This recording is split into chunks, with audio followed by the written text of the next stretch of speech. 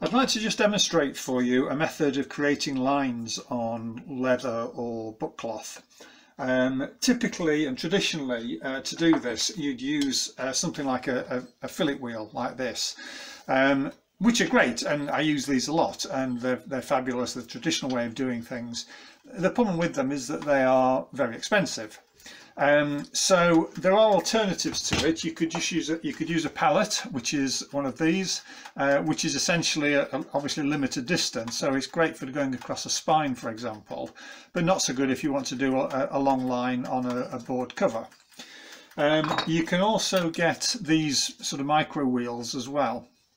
Uh, which are just just the same as the fillet really but just much smaller and are particularly useful if you want to go around curves um, I, I've got a couple of these, but I, I, don't tend to use them very often. I find them quite difficult. They sort of slip and, and it's, it's, I find it quite difficult to use. So the method I tend to use is actually the easiest method, and that's using a homemade stylus. Now this is um, the stylus that I tend to use.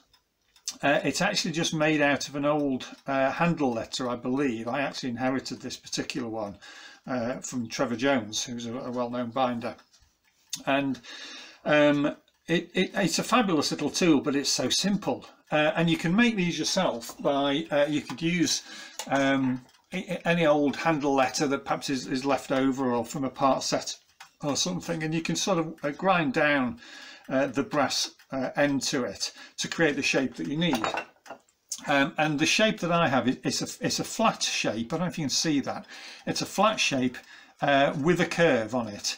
No sharp edges, no sharp corners, um, but it's uh, it's just perfect what we need. And basically we use this as a stylus, so you're effectively drawing the line on. And I'd like to show you how I do that. Um, firstly, for using a straight line, um, I'm going to use foil for this. You can't really use this method for um, uh, gold leaf as far as I can figure out. Um, so I'm just using a foil. Um, let's just trim that down a little bit. Use that in a minute. And I'm going to use a guide. Now you could use a ruler or a piece of wood or all sorts of things for this, but I tend to use cardboard. Um, it's less likely to damage or scratch the leather, less likely to damage the stylus. So essentially I place that on the leather. This, I should say, is actually faux leather. It's a sample from Winters, uh, just to, to demonstrate this. Could be, could be cloth, it, it works just as well. Um, the um, guide that I use, I have a, a, hinge in just with a piece of sellotape. And that's simply so that I can line it up exactly where I want it on my leather or on my bookcase. And then without moving it I can lift that up put the foil under, close it down, and I know it's in exactly the right position. I've heated my brass tool, my stylus, so I'm just going to cool it, uh, and I don't want it too hot, just so the sizzle stops. And then against the side of the uh, template, applying moderate pressure and let's see what that's done.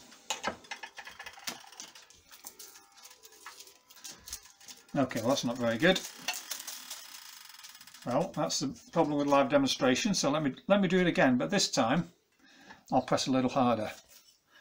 All tooling is, is a, um, a balance between pressure, dwell time and temperature. And that is determined to some extent by, in this case, by the foil, the adhesive on the foil, by the substrate, the leather or the cloth that you're, you're doing. So let's see if just increasing the pressure and increasing the dwell time slightly has made a difference.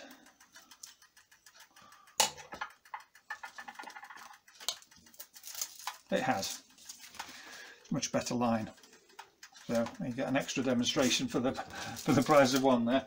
So uh, I'm going to do the same, but this time I'm going to use a, uh, a curved template. Same principle, I've got a hinge in there.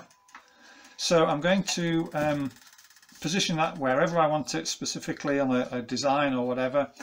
Um, hold that in position. You could put a weight on it if you wanted. You just then lift that up, put your foil in there, check the temperature. Yeah, that's about right. And off we go again. So because you haven't got a big wheel as you do with a fillet, you can actually get quite, you know, pretty complex in the shapes that you work with using this method.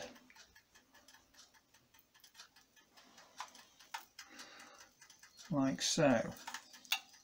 Now, knowing that there's uh, the possibility this hasn't taken fully, uh, as we saw a moment ago, what I can do using this method is keep this in position, lift that up, let's have a look at it. Actually that's fine, but let's let's assume it isn't. Let's assume that it's it's uh, still needs more work on it. I can then reposition it. This hasn't moved, so I can just go over it again. So it's a nice technique to play about with. There's no real pressure in terms of stress, getting stressed out if it doesn't work because you can just go over it again. So it's a simple, cheap tool and it can give you some fabulous effects like so. So there we go, a homemade um, stylus just made out of a heated brass tool um, and uh, that's all you need really. Uh, I should say that the uh, heater that I use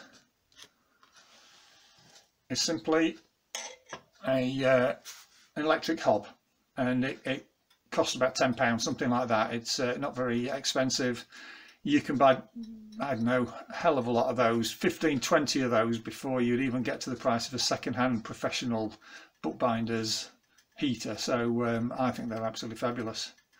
But anyway, that's how to tool using a stylus and hopefully, hopefully that was of some help.